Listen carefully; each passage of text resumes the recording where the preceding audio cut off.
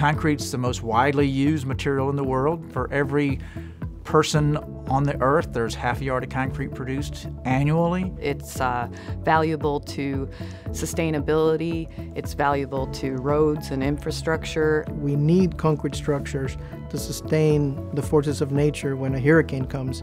We need concrete in hospitals. We need schools. We have no problem having it be a simplistic material of just water, cement, and aggregates to make a sidewalk or a fence post, but we can also make extremely sophisticated mixtures that are high performance and are used for commercial construction. And I think most people don't understand the complexities and all of the things that go into making and batching a yard of concrete, delivering it, taking it to the plant, installing it, having it last for 100 years. Naturally, when we build buildings nowadays, we are very concerned about the sustainability, the energy impact, and, and the impact on climate change. Sustainable development is also about making sure you have natural resources that are available. Obviously, reducing that uh, environmental burden in creating concrete is the future.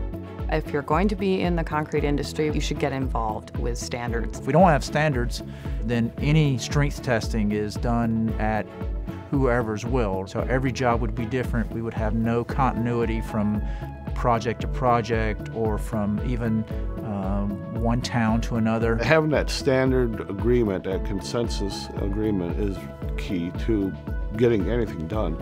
Otherwise, it would just be chaos.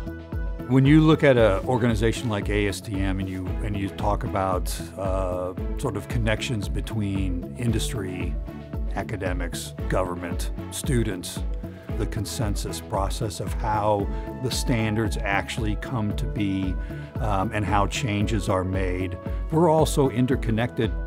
So you come to agreement through the standards process. Writing uh, standards of, of, reviewing standards, coming to, to a, uh, an agreement of what's the right word or what's the right uh, process to, to uh, go through. All of that takes uh, voting and balloting and offering your expert opinion and then having those opinions be voiced within the community. You have a period of time, specifically in C1 and C9, that work in the same week and you meet a lot of people, people that you wouldn't normally uh, be able to interact with. People that read about in textbooks. When I was a student, were active at ASTM, so I get to chat with them at these meetings, and you learn a lot from that. The benefit is everybody is discussing ways in which we can drive the, the knowledge, the innovation into the built environment. I do not have all the answers, but I do know people who will have those answers.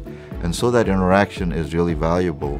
We're still discovering things about concrete that, that we didn't know five years ago, 10 years ago, let alone 20 or 50 years ago. It's a constant evolution. And the participation of members, whether they're in Italy or France or Argentina, Peru, or within the United States, it's irrelevant.